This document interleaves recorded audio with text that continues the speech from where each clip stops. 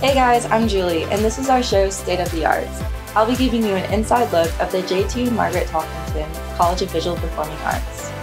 With classes back in session, our guy Aaron hit up Texas Tech students to find out how well they know our campus.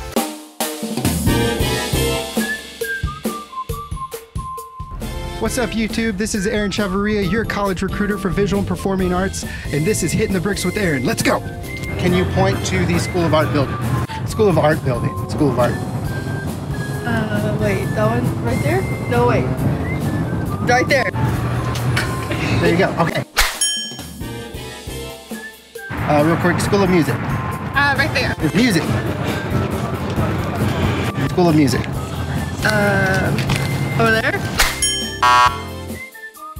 Theater building. Oh, I know this. That's not right. Now this is a tough one. Creative Movement Studio. There. There you go. Awesome. Okay. One of our student projects done in virtual reality. Um, it's a paint. It's a picture of a famous painting. Can you name the painting? No. No. Okay. Starry Night by Vincent Van Gogh. Nice. What is our largest ensemble group in the School of Music? Oh, it's the. Uh, what is Football? it? Yeah, it's the marching band. Um, the, The Goin' Band. The Goin' Band. from Raiderland. I knew that it. was- I mean, you, you had the right idea. yeah, I had the. I can like hear it in my head. 450 piece ensemble. It's That's a, huge. it's a big group, right? We went to the games to watch them. If you don't know where it is and don't know what it is, can you really be late? Take a look at how artists on the spectrum create a short animation with help from School of Art animators. We use animation, uh, animation making as therapy. Art therapy is about creativity, about how expressing yourself can help you.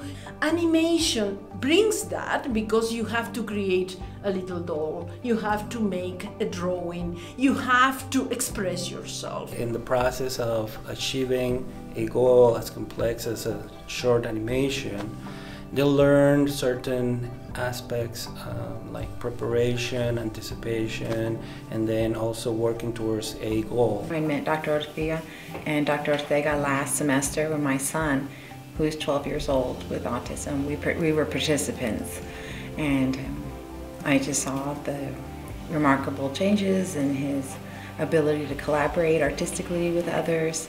Over the past 10 years since his diagnosis, we participated in a lot of different interventions and targeting different behaviors, uh, different needs that my son has. And for this was the first time that we had participated in a project that was focused on the strengths, but it just always happened when he was in the classroom. The focus is on his deficits, and that's really frustrating. So this really gave him an opportunity to show off what he knows and build on his skills. And one of the things I wasn't expecting was to see how he grew collaboratively, um, how he was able to work with Jose So I started speaking to him, and then that's when I discovered that again we had this mutual love for gory stuff. So I just rehashed. It's still the the same techniques, but then we I let him integrate his stories there. So that that switched something on in him, and he became really um, into it. Each participant is extremely individual.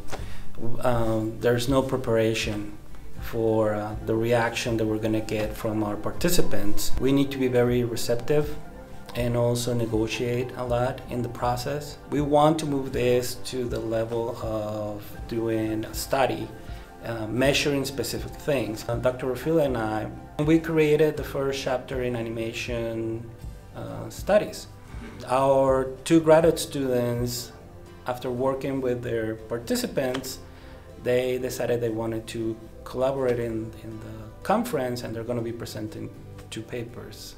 I noticed last semester that an increase in the social interaction, in the ability to um, maintain attention, and also the pride of creating something and feeling that strong feeling of ownership.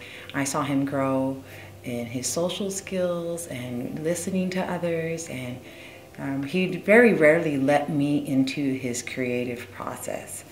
So to see him share that with somebody was really unique, and um, I saw how valuable it was. This has been your inside look at visual and performing arts at Texas Tech University. Be sure to like and subscribe to our channel. And don't forget our Arts in the Snap show on Snapchat at TTU Arts.